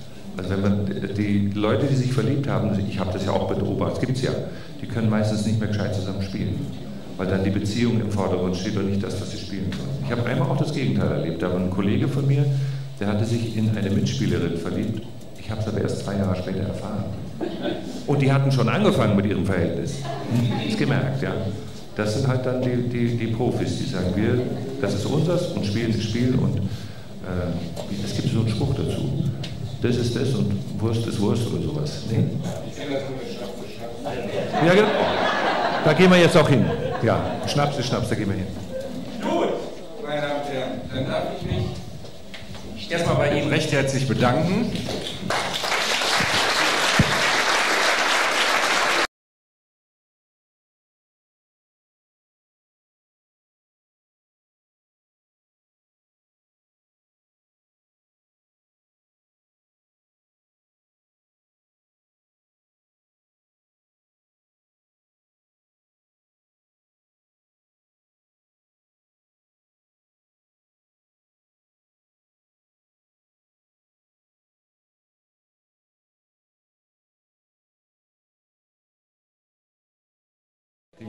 Hin. Magdeburg kann er sagen, ja. So, also ich hoffe, es hat Ihnen äh, ein bisschen Spaß gemacht. Äh, nächste Woche ist schon wieder Lischka trifft. Das hängt immer mit den Gästen und deren Terminkalender zusammen. Ich weiß, der Mann ist nicht so attraktiv wie Walter Sittler. Aber, aber, aber. Es wird insofern ein ganz interessanter Abend. Es ist Frank-Jürgen Weise der ja nicht nur Chef der Bundesagentur für Arbeit viele Jahre war, sondern die letzten anderthalb Jahre vor seiner Pensionierung auch das Bundesamt für Migration und Flüchtlinge geleitet hat. Und ich darf Ihnen jetzt schon versprechen, Sie werden in Deutschland kaum jemanden finden, das ist ja übrigens auch der Vorteil von Pensionären, dass die etwas mehr erzählen können, der wirklich so viel erzählen kann aus seiner Sicht über den Herbst 2015, über alles, was dann gefolgt ist und was in den nächsten Jahren auch folgen muss. Das ist am 13. Juli, 18 Uhr im Gartenhaus. Also anmelden, sofern Sie es noch nicht gemacht haben. Und nächste Woche, das nicht Lischka trifft, ich habe es auch nicht organisiert, aber am 11. Juli wird der Lischka mal getroffen in irgendeiner spanischen Tapas-Bar, deren Namen ich nicht aussprechen kann. Breiter Weg 226, ich glaube auch 18 Uhr oder sowas ist das, oder 19 Uhr. Bis dahin bleiben Sie gesund und wir sehen uns wieder. Vielen Dank. Und jetzt kommt das Bestechungsgeschenk fürs nächste Mal, Herr Sittler. Was Alkoholisches wahrscheinlich. Nein, ja. ist nichts Alkoholisches. Das ist eine Magdeburger Kiste mit Spezialitäten. Wer häufig hier schon ist, der weiß, was da ungefähr drin ist in der Kiste. Sie werden überrascht sein, was es alles aus Magdeburg. Magdeburg gibt. Ja, vielen Dank. Vielen Dank.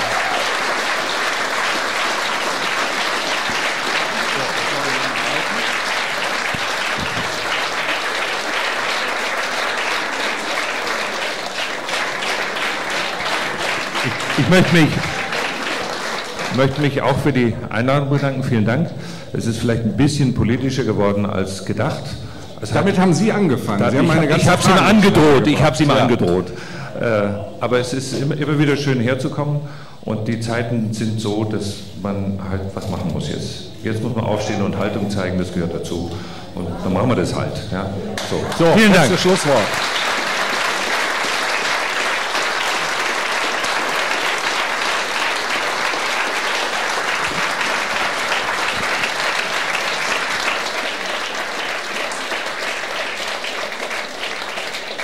Kommen Sie gut nach Hause. Er muss jetzt wahrscheinlich noch hier irgendwie durch die Selfies rein. Ne? Wir, wir, sehen uns, wir gehen aber essen. 8 Uhr ist der Tisch reserviert. Hm? Ach, Autogrammkarten hat er auch dabei. Alles gut. Auf dem Balkon. Also nicht alle auf einmal auf dem Balkon, dann äh, wird schwierig.